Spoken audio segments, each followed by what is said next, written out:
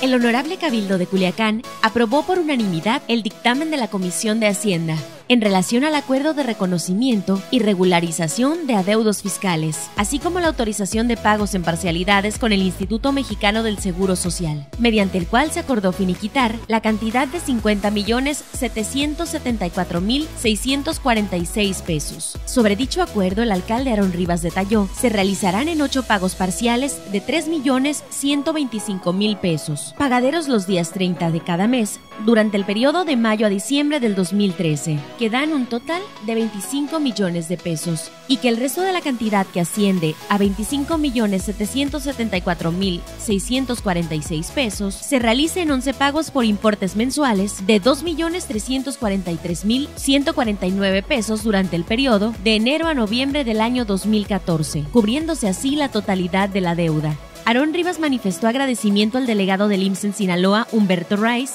por su flexibilidad humanista al ayudar a más de 4.700 trabajadores del Ayuntamiento de Culiacán, quienes ahora dijo podrán gozar de su derecho social de manera regular, digna y con calidad. Añadió que gracias a una serie de negociaciones entre autoridades del IMSS con las del municipio, fue posible reducir una deuda inicial que ascendía a más de 109 millones de pesos, pues se logró eliminar intereses, descontar retrasos y otras más sanciones por impuntualidad del pago durante la administración municipal pasada. El ahorro fue de 58.2 millones de pesos.